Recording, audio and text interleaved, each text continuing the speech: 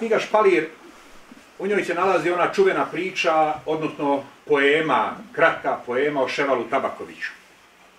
Ja sam ovdje, zajedno sa mojim Hidijom Čapčićem, to obilježio kamerom i još na puno mjesta smo ispričali.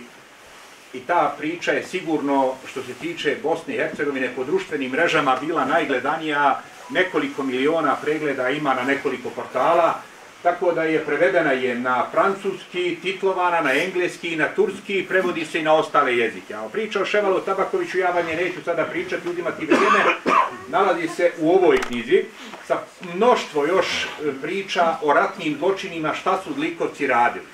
Zato ova džamija ima tu simboliku i danas je hefta predmjero idući petak, 5. avgust je dan otvaranja ove džamije, da znate, pa evo, pozivam vas da dođemo da zajednički obilježimo i taj trenutak, moment kada je 94. godine stavljena u funkciju.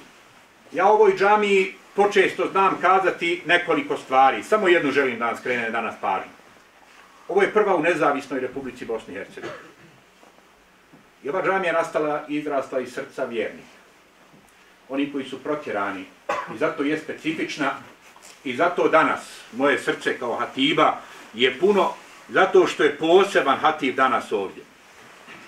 A vi ga znate dobro. Kad budemo završili sa džumom ove četiri knjige ovdje, volio bi da se da dođu mladići, ne ovi stariji, koji znaju šta se ovdje dešavalo, nego ovi mladići koji tek sad uče onome što smo proživjeli kroz period 92. 95. od onog zločinačkog prema nama do onog gazijskog, a to će nam o tom gazijskom sigurno naš gazija Moderic ispričati. Mu jezine uči na mezan.